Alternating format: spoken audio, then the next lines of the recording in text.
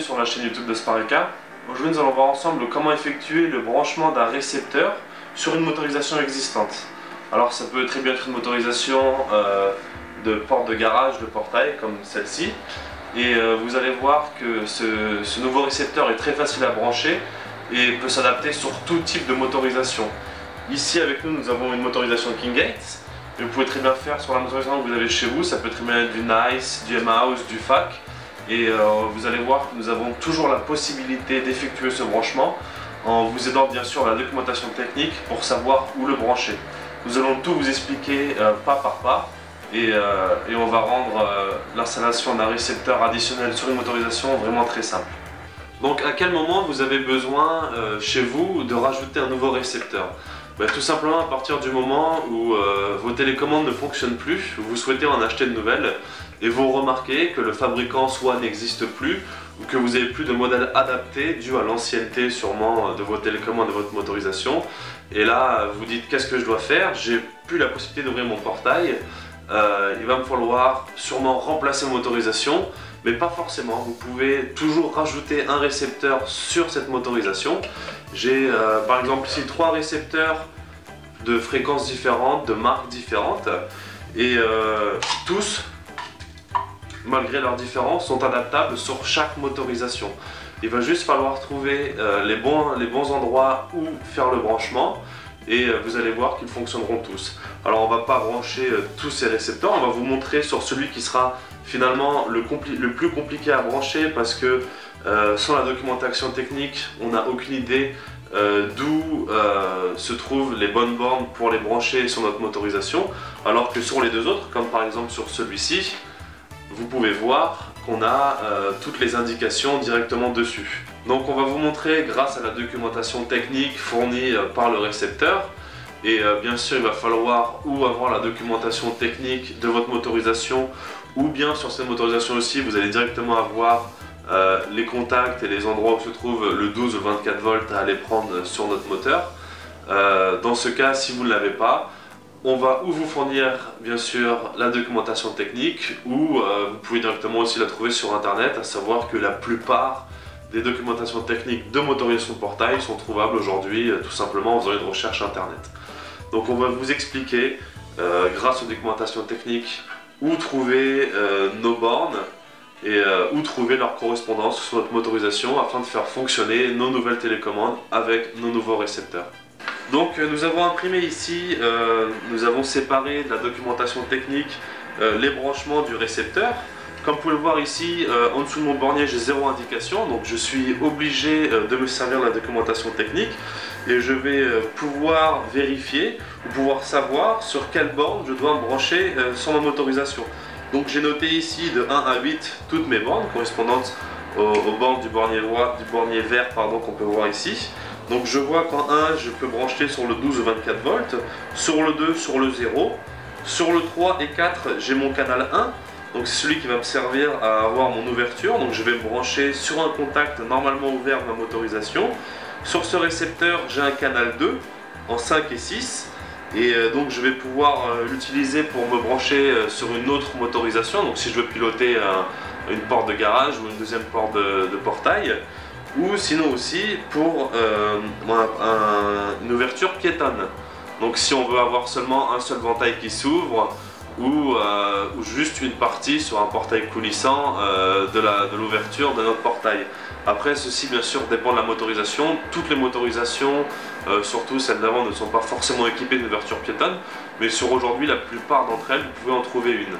Donc nous allons procéder au branchement d'abord de notre, de notre bornier euh, de récepteur. Tout simplement, je vais brancher des fils sur mes 6 premiers parce qu'on a sur les 7 et 8 euh, de quoi brancher une antenne. Donc il faut, pour ça un câble coaxial et on va pouvoir brancher à l'antenne qu'on a mis par exemple sur le pilier du portail pour avoir une plus grosse portée avec nos télécommandes. Donc nous euh, ici le récepteur est livré avec une antenne euh, dite euh, un, peu, un peu sommaire fournie avec mais qui a toujours une fonction qui va faire gagner un peu de portée alors elle n'est pas forcément nécessaire mais en tout cas nous on va vous montrer comment se brancher nos six premières bornes sur la motorisation. Donc nous avons ici un câble à contact très souvent utilisés pour brancher euh, nos composants euh, pour les motorisations de portail. Ce sont le genre de, câbles que vous pouvez trouver dans n'importe quel commerce. Euh, ils sont aussi très souvent utilisés pour tout ce qui est visiophonie, interphonie et même aussi internet. Donc je vais d'abord tout simplement brancher mon bornier ici. Alors j'ai des codes de couleurs, donc j'ai un vert, un blanc vert que je vais utiliser pour le plus, le moins. J'ai ici un marron, un blanc marron que je vais utiliser pour mon premier contact. Et j'ai ici un bleu, un blanc bleu que je vais utiliser pour mon deuxième contact. Donc je vais tout simplement brancher mes fils un par un. Donc là je sais que j'ai branché mon 1224. Là je branche mon 0 volt. Alors j'avais dit celui-là en premier contact. Donc je vais mettre le marron ma bande 3.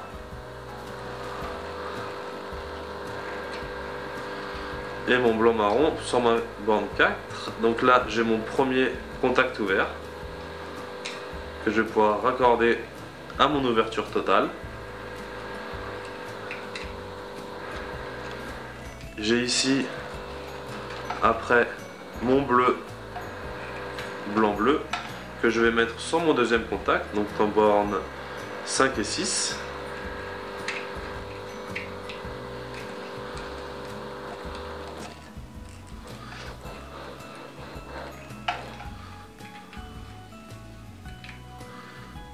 Voilà, comme ceci.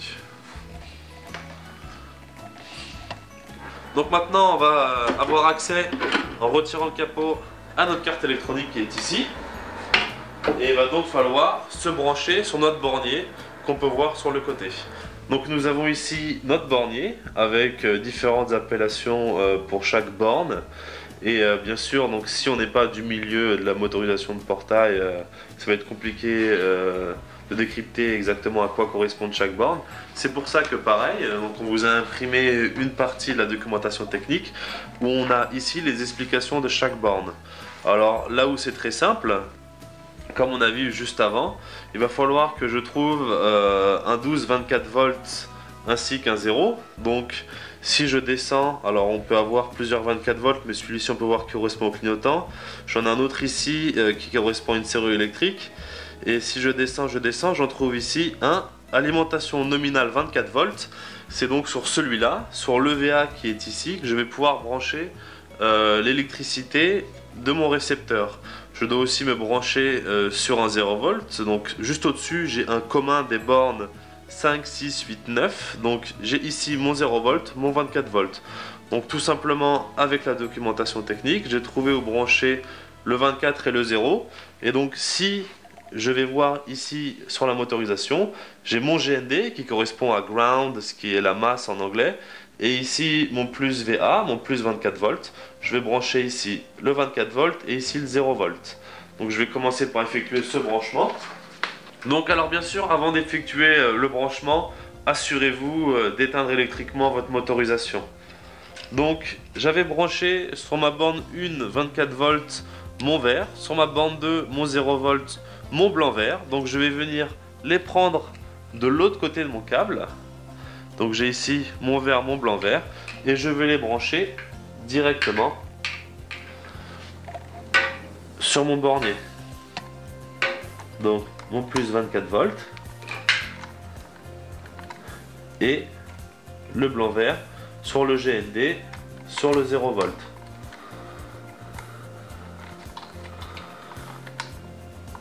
Donc maintenant j'ai déjà une alimentation sur mon récepteur donc on va pouvoir faire un contrôle. Je vais rebrancher ma motorisation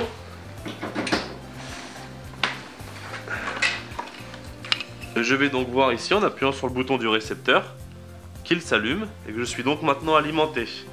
Je vais devoir maintenant brancher mes canaux sur les différentes euh, positions que je peux trouver ici euh, sur ma motorisation.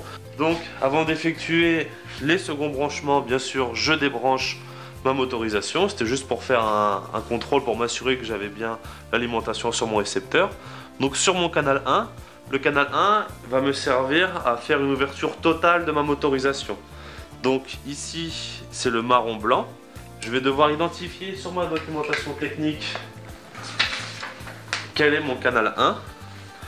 Donc je descends, je descends. Ici directement avec les schémas, je peux voir les contacts normalement ouverts. On en a seulement deux. Donc j'ai un contact normalement ouvert start. Le start correspond à une ouverture totale. Et ici j'ai contact normalement ouvert piétonne. Donc je sais que celui-ci va ouvrir seulement un seul ventail. Ça sera mon ouverture piétonne. Et au milieu, j'ai les communs des bornes 10, 15, 17, 18, ce qui correspond à 15, 17, 18 ici. Donc je vais brancher mon fil marron sur le start, sur le STR, mon fil blanc-marron sur le commun ici, sur le GND, le GND des contacts normalement ouverts et j'ai ici aussi un contact fermé. Et euh, je vais vous montrer après pour l'ouverture piétonne. Je vais commencer par faire seulement mon ouverture totale. Et mon fil blanc-marron ici sur le ground, sur la masse. Et maintenant, comme on a vu juste avant, je vais brancher mon canal 2 qui doit être aussi branché sur un contact normalement ouvert. Donc je souhaite avoir une ouverture piétonne. Quand j'ai pas besoin de sortir la voiture et je sors tout simplement à pied, j'appuie sur mon deuxième bouton de la télécommande qui va piloter l'ouverture piétonne, pardon, et seulement un ventail va s'ouvrir juste pour laisser passer une personne.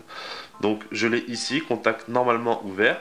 On, vient, on voit bien ici euh, le schéma du contact ouvert. C'est mon PED, pedestrian, qui correspond à piéton en anglais. Donc je vais me brancher sur le PED.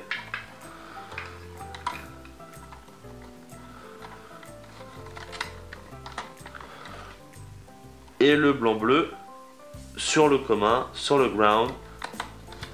Alors vous auriez aussi la possibilité de faire un pont sur votre récepteur entre la bande 6 qui revient sur la bande 4 et qui revient sur la bande 2. Finalement, tous mes fils blancs correspondent au 0 volt. Donc j'aurais pu faire un pont aussi directement 4, 6, 4, 2. Et j'aurai le même fonctionnement que je trouve maintenant, sachant que mon 2, euh, mon 0 volt est déjà branché au ground, euh, au commun sur ma motorisation et ça aurait le même effet. Là je vous ai montré comment brancher tous les fils, ce qui est euh, la façon la plus simple. Donc je vais appuyer sur mon bouton de programmation pour pouvoir programmer ma nouvelle télécommande. Alors le mieux bien sûr c'est d'acheter un kit où vous avez directement euh, un récepteur et une ou deux télécommandes fournies qui sont compatibles entre elles. Donc j'appuie sur le bouton du récepteur, la lumière verte s'allume, j'appuie sur le bouton de la télécommande, la lumière a clignoté, ce qui m'a montré que euh, mon récepteur a pris en mémoire ma télécommande. Donc maintenant, si j'appuie sur le bouton de la télécommande, vous allez voir mon récepteur qui clignote, va aussi donner l'information de mon canal 1 directement à travers le fil jusqu'à mon start ici, ce qui, va ce qui va me donner une ouverture de mon ventail. Donc pareil pour la fermeture. Donc c'est un branchement très facile à effectuer.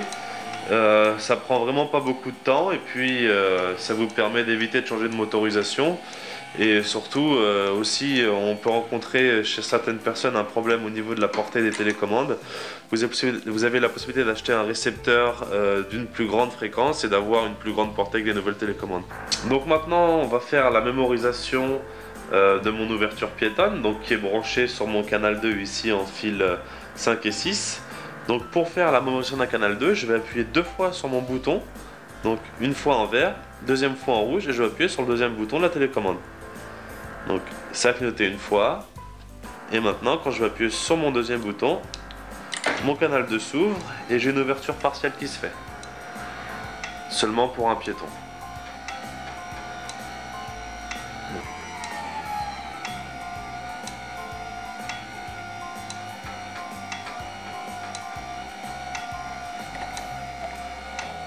Donc après ici, bien sûr, euh, nous avons qu'un seul ventail vu que c'est un, petit portail euh, d'exposition. Mais euh, bien sûr, chez vous, vous n'aurez qu'un seul ventail qui s'ouvre. Ici, nous avons qu'un seul ventail, donc celui-ci s'ouvre. Donc nous vous montrer comment effectuer la programmation d'un récepteur sur une motorisation. Alors à savoir, vous pouvez faire ça avec n'importe quel type de récepteur et n'importe quel type de motorisation. La marche à suivre sera toujours la même, quelle que soit la marque. Malgré ça, si vous avez quand même rencontré des difficultés durant cette vidéo, euh, n'hésitez pas à nous laisser un commentaire en bas, on y répondra bien sûr le plus vite possible et trouverons la solution à votre problème. Euh, si vous aimez les vidéos, bien sûr, mettez un pouce bleu, abonnez-vous à la chaîne Spark à YouTube et à bientôt pour une nouvelle vidéo.